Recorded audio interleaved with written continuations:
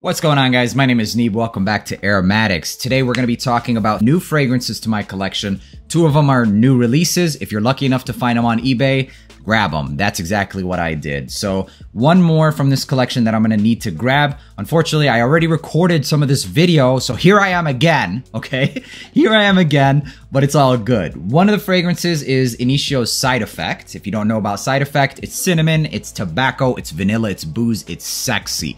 smells like there might be some cardamom here. They don't actually, or not cardamom, cumin rather. They don't actually list it in the notes, but it is there. Fragrance World has a couple of different brands or uh, clones of it. They've got Purple Effect, which is good, but it's the weakest performing of them all. I believe that Aftermath is going to be the next potent thing, and then there's After Effect, and then Velour's Low Light is just the beast mode of this entire DNA. And I genuinely believe that all they do is increase the potency between each one. Aftermath, I don't know how potent it is, but I did spray it on a tester strip and I have it here still. I did notice that it smells just as potent as After Effect. I genuinely believe that the concentration in this one is After Effect, but it's in a cheaper bottle, so it's likely to be a cheaper price. Not to mention the presentation is cheaper as well, so they're able to sell this for cheaper. That's just the way that it works, okay? And then, so I sprayed this on about 10 minutes ago. I did record this already, unfortunately. I did only get to the opening of the second fragrance, which was fantastic, and we're gonna talk about that.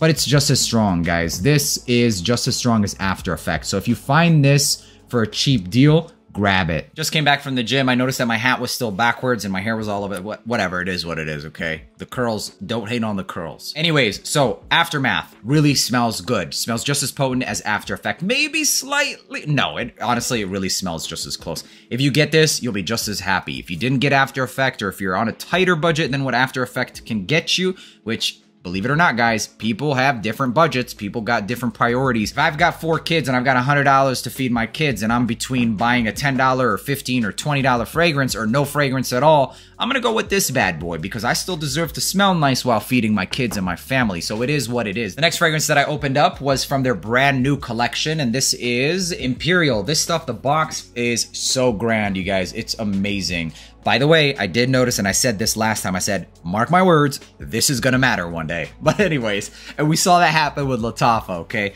But so you got the top here, you open the flap, and the fragrance sits in place. You guys have to see how this thing freaking looks. I'm so disappointed I didn't get that genuine first impression, but I'm still pretty stoked because this shit is crazy. Like, what the is that? You guys, this is so heavy, it is like five pounds. This is crazy. So I noticed that the bottle is a similar shape to Imperium by Fragrance World, but it's painted black. And this stuff, it's all metal. This is very sharp, so be careful. All metal. The cap is metal as well. Fantastic. I was saying that this is supposed to be a dupe of, by the name Imperial, Imperial Valley by Gissah. At the time of making this video, I had already recorded the full review for this fragrance, but I might not have posted it yet. If it's up by now, I'll go ahead and link it somewhere up on the top so you can follow up with this video and go see the review of that fragrance, which is basically going to reiterate what I said about this. Reason being, it's so damn close. First impression, this stuff is beast mode. That's exactly what Imperial Valley is. It's beast mode. This is Davana, peppers, leather, musk, and amber. That's exactly what it is. It's an animalic leather that's spicy, aromatic, and ambery. There's a hefty dose of musk here, which also does contribute some animalic facets. This stuff is loud, okay? This stuff is so loud, it's so strong, you gotta be careful with the trigger. You definitely gotta be careful with the trigger. A lot of people in the East are wondering why the heck is it so marked up in the West? I understand. In Kuwait, you can find this around 70 to 100 bucks max. Here in the States, you have to understand that just to ship one article, one piece of this, is 25 bucks. And for you to even get it to be able to ship it for 25 bucks, you have to have some kind of contract with like DHL and stuff like that. And so only the people that have that contract, which takes months to get approved for, can ship it for 25. Otherwise, it's like 30, 40 bucks just to ship one piece. So let's say it's retailing for $70, you buy it for 70, they mark it up that $25, you're now at a cost of 100 bucks. Then you've got the middleman to pay. He wants to make 20 to $30 per piece. Now it's at about 120. And then you got the store that's got to keep the lights on and feed their family and kids, so it ends up at around 160, $180. And personally, I genuinely believe that that's fair considering all of the factors.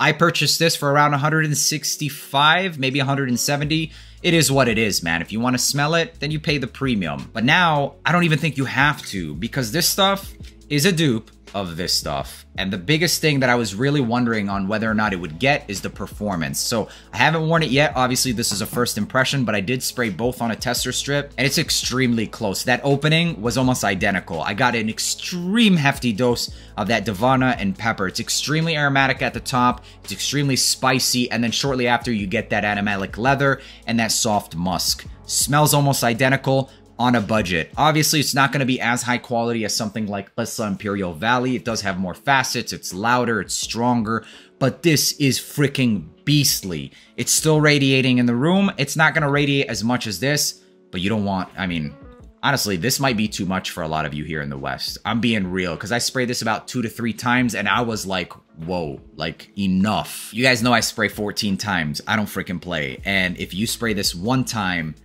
yeah, this will probably last you a lifetime, real talk. And now that there's this fragrance, it'll probably do the same. So at the top, smells like Gissah's Imperial Valley.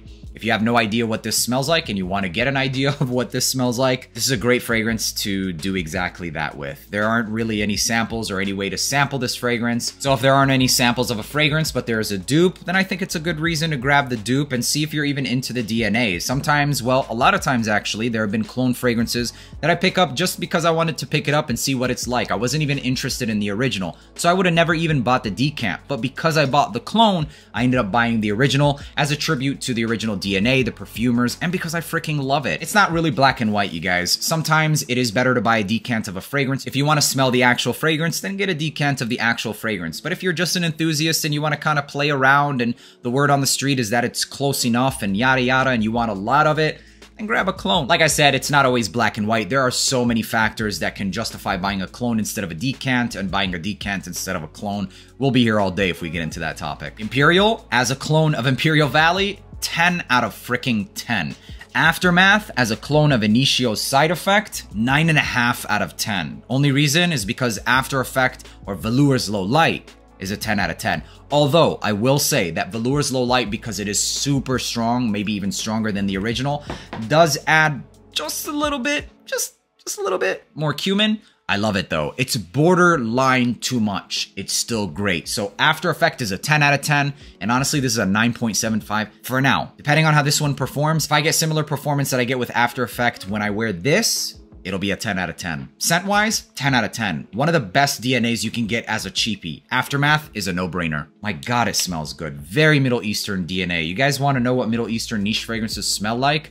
Honestly, there isn't a clone or a dupe or really anything that gets close to like uh, one of these Kuwaiti perfumes that's this loud and strong and bold because everything they do they do it times five so what we're used to here in the states that little Davana note yeah, it's not so little here. And as far as the aftermath, yeah, it's a no-brainer. That's it, first impressions. So from here on out, I'm gonna rock all of these and I'll report back to you guys what I think about the performance and how they dried down and if they got any closer or further from the original DNA. So far, this is extremely freaking close. I'm most impressed with this because of the presentation, and I think that it's extremely impressive that we now have an actual dupe for a Kuwait niche fragrance. I hope you guys enjoyed watching this video. If you did, scroll down, hit that subscribe button, and if you want a follow up video on all of these, make sure to hit that notification bell because I drop videos every day. And until the next one, peace.